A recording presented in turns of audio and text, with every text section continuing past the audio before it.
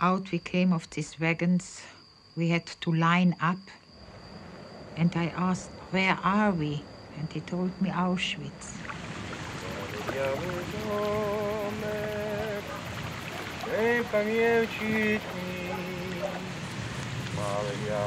What happened to Elsa and what happened to Hans? And these were our talks on that horrible day and this feeling of being terribly guilty that we did not go that we did not go with them.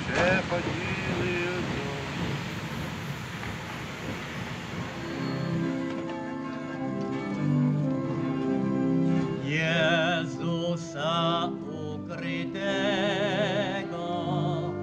mam w sakramencie You never returned to Poland since? No. I wanted many times. But um, what will I see? How can I face it?